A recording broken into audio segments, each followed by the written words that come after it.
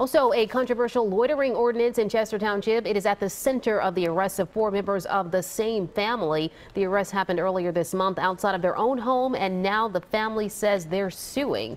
Eyewitness News reporter Howard Monroe is live in Chester Township with the story. Howard.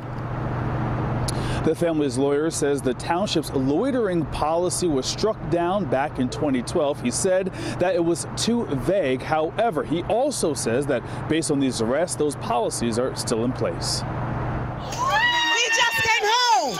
Keith Briggs arrested, tased, and put in the back of a cop car for loitering. Prior to his arrest, his lawyer says that he was standing in front of his family's home. He was one of four people from the same family arrested in early October for the same charge. The Chester Township Police Department has failed me, my family. Instead of protecting us and serving us, they decided to attack us on multiple occasions. Rachel Briggs was also arrested. This was the second day in a row family members were arrested for loitering. The township statute says that there are areas of the township where loitering is prohibited. In those areas, the statute reads officers can question anyone they believe is loitering and ask them to leave. It's not clear if this neighborhood is one of those areas. My sister here. Doesn't matter. She lives there, not here. While the family is trying to explain to them their lawful reason for being there, he's busy putting handcuffs on Miss Lewis and directing Mr. Briggs to be arrested.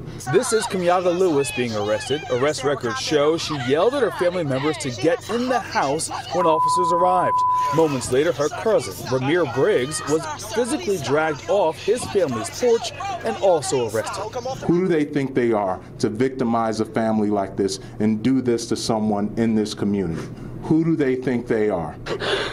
I never felt an embarrassment and shame as if I felt that day. Now, we reached out to the police department several times today. However, we haven't heard back. As for the family, they are now thinking about filing a civil lawsuit. However, first, on October 17th, they'll be in court to answer to these criminal charges. But for now, live in Chester Township, Howard Monroe, CBS 3 Eyewitness News. Howard, thank you.